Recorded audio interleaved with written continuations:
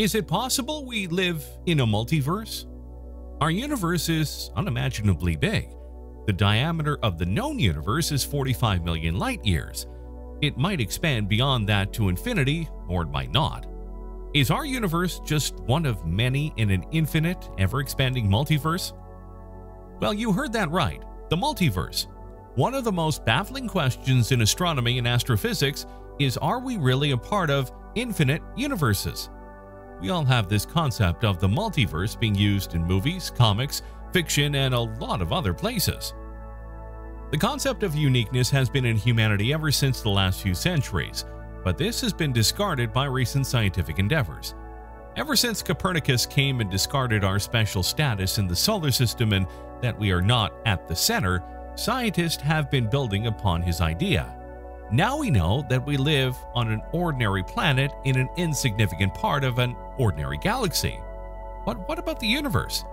Is there only one universe or multiple ones? Our understanding of the universe is limited for now because the Big Bang happened 13.8 billion years ago and the speed of light is constant.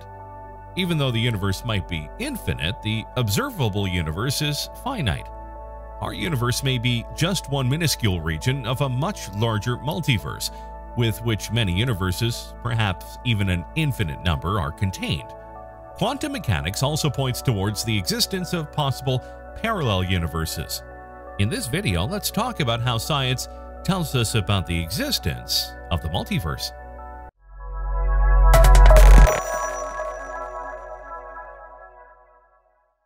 Uniqueness is one of those ideas that is unquestionable where we easily identify things as unique and then it's unique forever. There are very low chances of something being identical to it. Just like your fingerprints are unique, but in a very recent picture of the cosmos which says nothing is unique. The very notion of uniqueness is being challenged. It says that there might be duplicates of everything, not only of objects, but of me, you, and everyone else. And if it's right, why haven't we seen them? Where are they? There was a time when the idea of a multiverse seemed impossible, but in recent years, scientists have observed some compelling evidence of other universes, some being born all the time. Some of them might look identical to ours, having the same star and even the same planet except for the slightest details. These universes might also have our duplicates, very identical to us except for the slightest details. For example, in any other universe, it might be possible that we would be dying or being born. We could be getting married, not us, to be precise, but our identical selves. We can even be the President of the United States. There could be a number of possibilities. But how is it possible? Doesn't this idea seem absurd? Let us take a look at why this idea is compelling, not only to us, but also to the scientists. First, let's talk about where this idea of multiverse came from. Well, we all know about the Big Bang Theory, which tells us about the massive explosion that led to the formation of our universe. Around 13.7 billion years ago, everything we know of was an infinitesimal singularity. Then that singularity burst into action, inflating faster than the speed of light in all directions. But the Big Bang misses one thing. It doesn't tell us anything about the bang. What caused the bang and how it banged, what caused everything to move outwards into an ever-expanding universe. Our universe has been expanding since the Big Bang, which means that everything is moving away from each other because the space between them is expanding. This was observed by scientist Edwin Hubble who gave the Hubble law.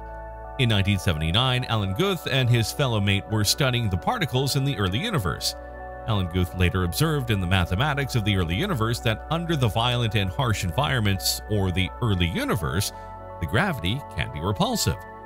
This repulsive gravity would drive apart everything around it and repel it, causing a massive expansion. This force was so powerful that it could take a molecule and blow it up to the size of a galaxy in less than a billionth of a billionth of a blink of an eye. This idea gave birth to the theory of inflation, and as inflation ends in a particular place, a new bubble universe forms. Those bubble universes can't contact each other because they continue to expand indefinitely. If we were to set off for the edge of our bubble, where it might butt up against the next bubble universe over, We'd never reach it because the edge is zipping away from us faster than the speed of light and faster than we could ever travel. The theory of the multiverse gained unexpected support from two major areas of modern science that may be the key to understanding many important phenomenons in our universe and beyond. One of these fields was string theory, and the other one was the breathtaking discovery made by scientists made on a larger scale. A discovery that is crazy if we are a part of only one universe, but makes sense if we are part of the multiverse. Astronomers in the beginning of the 20th century believed that the universe might be shrinking or might be slowing down. Just as you throw a ball up in the air and it comes back to you after some time, astronomers believed that the universe was expanding and thought it would slow down in the same way because of the gravitational pull of the stars and galaxies. But when detailed observations were made, and especially by Edwin Hubble, astronomers observed that the universe was not slowing down. Instead, it was accelerating outwards. These observations were baffling. Everything was moving away from each other at an increasing speed. Scientists believed there had to be an invisible force behind this. Astronomers called it dark energy, discovered by mainly three scientists Adam Riess, Saul Perlmutter, and Australian astronomer Brian Schmidt, who won the Nobel Prize in 2011 for their discovery. It is the most important discovery in the history of science. Dark energy is one of the most important discoveries in astronomy, but there was another aspect of this strange force its strength. Scientists believe that at quantum level, the amount of energy that would be generated would be enormous. But when the astronomers measured the amount of dark energy present in our universe, it was 0.138 times 10 to the power of minus 20, which seems an infinitesimal amount. Later, they found out that if this tiny amount of dark energy, which is present in our universe, would have been slightly more, it would have ripped apart all the matter and nothing would exist. So, how can this amount of dark energy be so perfect for our universe? The multiverse gives us an answer. The amount of dark energy differs in every universe, in some, it might be so less that the matter would collapse in on itself and hence nothing could exist. In some, dark energy is so large that matter could never get a chance to form and hence nothing would exist there. And this was a baffling realization for scientists. But there was another piece of this puzzle missing. How can we be so sure about this diversification of universes so that every value for dark energy, including the curious value found in our universe, can be found somewhere? The answer lies with the string theory. In simple words, string theory proposes that at subatomic levels, small particles called quarks that make up protons are also made of something smaller, tiny vibrating loops of energy or strings. Just like the strings of a violin each produces a different kind of note depending on how they vibrate, strings can also create different particles based on how they vibrate. This theory is also believed to lay the foundation for one fundamental equation for our universe. But let's leave this aspect for another video. The theory also proposes extra dimensions of space. We are familiar with the three dimensions of space, length, width, and height. Let's suppose we look at a wire which is hanging at a distance from us. If we observe it, it looks like a line, one-dimensional. But what about an ant that's on the wire? it would see an extra dimension. And if we could shrink down billions of times than those ants, we will find extra dimensions curled up into a loop everywhere in space. The shape of those dimensions determine how these strings will vibrate, and these vibrations of space define different original properties of particles. These extra dimensions also have different shapes which define their properties. When scientists tried to find out these different shapes, they were blown away by millions of constant shapes of these dimensions, each as unique as the other one. This was heartbreaking for them. What good is the theory that has millions of millions of solutions? Finding anything is impossible in there. But some string theorists thought to look at the problem differently, a way that would lead to the multiverse. The enormous diversification of constant shapes says String theory fits perfectly for cosmology and multiverse. All these different shapes might correspond to a different, unique universe, some of which might be identical to ours. Each solution represented a different possible universe. String theory was describing a multiverse, a very distinct multiverse. Some researchers base their ideas of parallel universes on quantum mechanics. Quantum mechanics says that an electron can be in a superposition if all possible locations.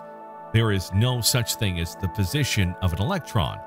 In quantum mechanics, multiple states for existence of tiny particles are all possible simultaneously. A wave function encapsulates all those possibilities. But when we actually look, we only observe one of the possibilities. As soon as we take a look at the wave function to observe it, the wave function collapses into a single reality. Schrodinger's cat analogy is based upon this idea only. The many world interpretation by Everett proposes that instead that every time one state or, or outcome is observed, there is another world in which a different quantum outcome becomes reality. This is a branching arrangement in which instant by instant our perceived universe branches into near infinite alternatives. According to many worlds, the universe continually splits into new branches to produce multiple versions of ourselves. These alternate universes are completely separate from each other and do not intersect. So there may be unaccountable versions of you living a life that's slightly or wildly different than yours. Sean Carroll, a widely renowned quantum physicist, writes in his book, Something Deeply Hidden, that the many worlds interpretation is the most courageous take on the quandary of quantum mechanics. He thinks that so far, the many worlds is the simplest possible explanation of quantum mechanics. At the end of the day, scientists can see many different theories pointing to a single theory the theory of multiverse. Different lines of research were focusing on one idea, and the theory of multiverse seemed convincing. All the various alternate universes out there have a different amount of dark energy naturally, and the unique shapes of these extra dimensions and different possibilities of a wave function. In the future, we might see other advances in this research, but as of the scientific advances now, we can never observe beyond our observable universe as the space between these galaxies and the space itself is expanding. So, what do you think about these different theories pointing towards the existence of the multiverse? Can it be really possible that there might be another you in a parallel universe or identical to ours? Let us know your thoughts and questions in the comment section below. And don't forget to like the video and subscribe to our channel and press the bell icon to remain notified of future amazing videos like this. Thanks.